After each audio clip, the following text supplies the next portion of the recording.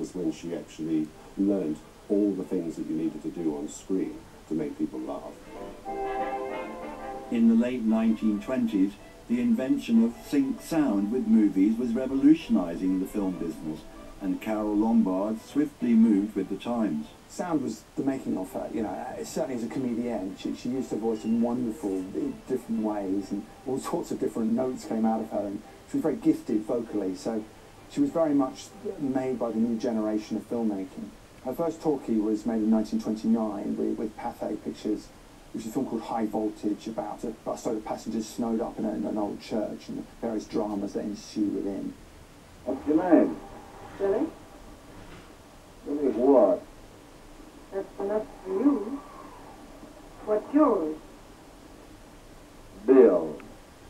Bill what? That's enough for you. Well, we'll get along, big boy. Sort of a classic melodrama of the day.